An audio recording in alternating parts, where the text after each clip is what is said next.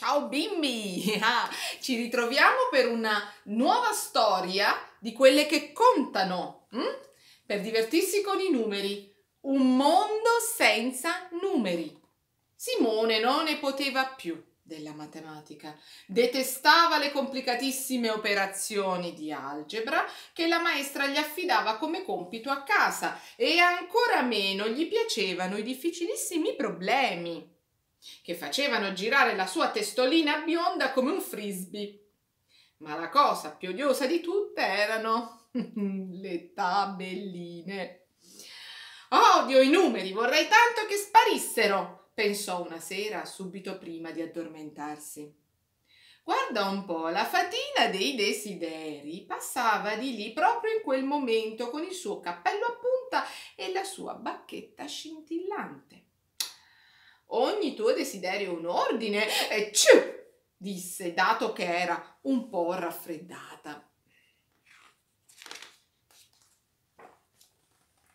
Il giorno seguente Simone portò a casa, orgoglioso, la nuova maglia della sua squadra di calcio. Con tanto, tanto impegno era finalmente riuscito a diventare un centravanti.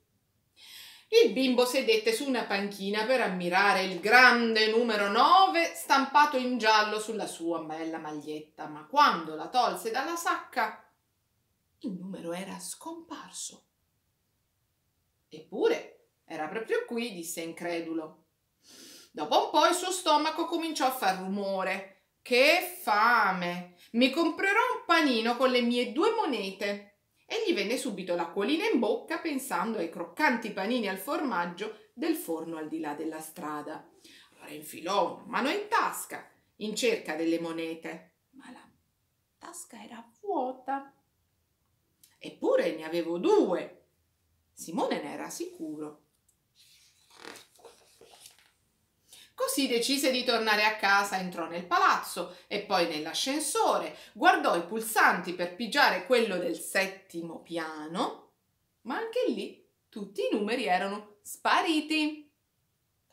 Simone corse via spaventato, ma non riusciva a trovare l'autobus numero 17 per andare a casa di suo zio. E non poteva neanche chiamare i suoi genitori perché dai tasti del telefono erano scomparsi tutti i numeri.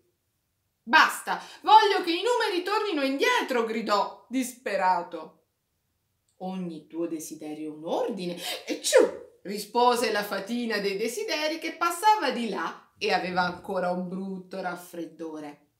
La mattina successiva, quando si svegliò, Simone saltò giù dal letto. Dalla sua scrivania c'era il libro di matematica aperto alla pagina delle tabelline. Simone tirò un sospiro di sollievo. Mi piacciono tanto i numeri, disse alla mamma, sorridendo. E se siete stati così curiosi e attenti, vi do appuntamento al prossimo venerdì.